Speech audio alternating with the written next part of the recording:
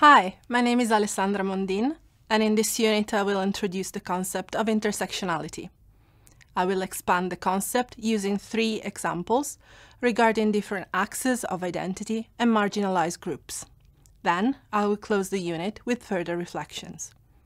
Scholars Patricia Hill Collins and Sirma Bilge point out how intersectionality is a tool through which it is possible to understand and analyze the complexity of the world and human lived experiences.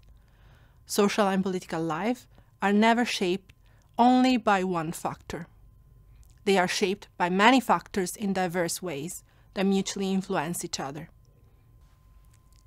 The concept of intersectionality is heterogeneous, and its history and genealogy are complex. It is rooted in black feminism, for instance with Anna Julia Cooper and Sojourner Truth at the end of the 19th century, with the Combahee River Collective in the 1970s, and with Audre Lorde in the 1980s.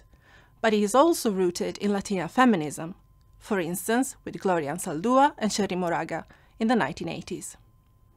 People in the Global South, too, have used intersectionality as an analytical device, and non-Western women of color like Gayatri Spivak and Chandra Mohanty have brought a post-colonial critique to the discussion of intersectionality. While scholars debate the origin of intersectionality, the term essentially gained more traction from the late 1980s, with the American lawyer, scholar, and critical race theorist Kimberlé Crenshaw. She considers the oppression of African American women and how they are erased by a single axis framework since the norm is set by either white women or black men.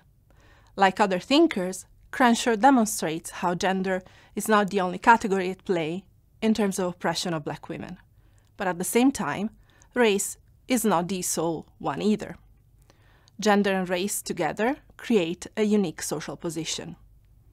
These axes are interdependent and they cannot be examined in isolation.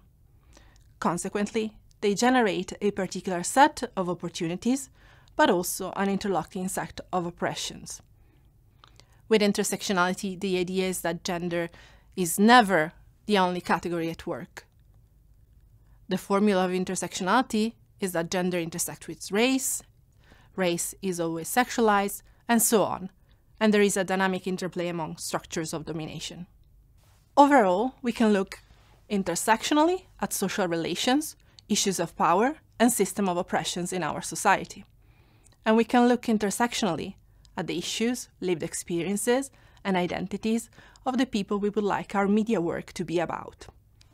As Audre Lorde argued regarding social and political inequalities, there is no such thing as a single issue struggle because we do not live single issue lives. Through the notion of intersectionality, identity and oppression are entirely reconceptualized. Theorists show that intersectionality points out how different sections of power structures interact. Multiple social categories, like race, ethnicity, gender, sexual orientation, socioeconomic status, intersect at a micro level of individual lived experiences. The individual intersections of these social categories express various intertwined systems of privilege and oppression at the macro, cultural, social, and structural levels, for instance with racism, sexism, ableism, heteronormativity, and classism. It is important to stress that our experiences of race, class, gender, sexuality, region, disability, etc.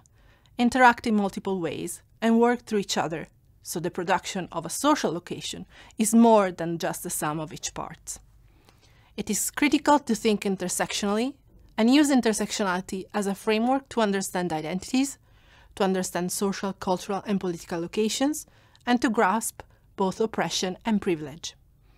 In order to capture the complexity of the world and of people's identities and lived experiences, and avoid silencing and stereotyping, research argues that media practitioners must consider an intersectional framework for media production, for media representation, and media access by different audiences.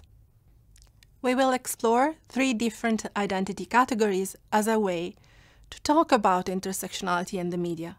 But first, please watch Professor Crenshaw discussing the concept in her keynote.